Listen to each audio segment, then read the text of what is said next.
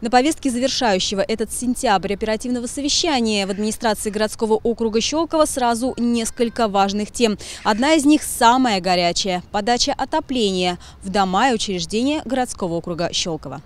Обсудить насущные вопросы и отчитаться о решении проблем. В администрации городского округа Щелково прошло оперативное совещание всех служб муниципалитета. Первой темой стала работа призывной комиссии в этом и следующем годах. С 1 октября по 31 декабря объявлен призыв. В этот раз призывниками станут юноши 1992-2001 годов рождения. Также на оперативном совещании напомнили, что у молодых людей есть возможность пройти альтернативную гражданскую службу. Такой вариант возможен, если человек по своим личным, религиозным или политическим убеждениям населением отказывается брать в руки оружие. 4 октября будет отмечаться День Московской области. К этому мероприятию также активно готовятся и в городском округе Щелково. В Центральном дворце культуры пройдет концерт, посвященный праздничной дате. Самой актуальной на совещании оказалась тема подачи тепла в дома и учреждения округа.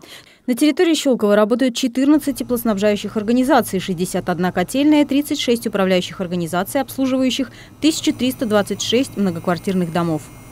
С 23 сентября на территории округа начался запуск тепла на многоквартирные дома. Управляющая компания совместно с представителями теплоснабжающих организаций осуществляет поэтапный запуск отопления на жилой фонд. По состоянию на 26 сентября отопление подано 1034 многоквартирных дома, что составляет 78%.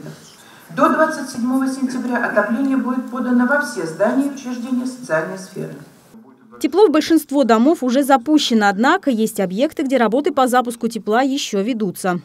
Администрация городского округа Щелково оказывает помощь в настоящее время в запуске отопления котельных Министерства обороны. Планируемая дата запуска 26 сентября. Исполняющий обязанности главы Сергей Горелов эту тему держит на личном контроле, регулярно выезжая на котельные. Он подчеркнул, что теплом в кратчайшие сроки должны быть обеспечены все жители округа. Пока соцобъект не запустит, администрацию не подключать Но, конечно, к тому времени, когда пройдет следующее большое городское оперативное совещание, надеюсь, уже по информации администрации, на данный момент из 1326 домов тепло поступает в 1288. Запущено 57 котельных. Лилия Тимиева, Игорь Поляков, Щелковское телевидение.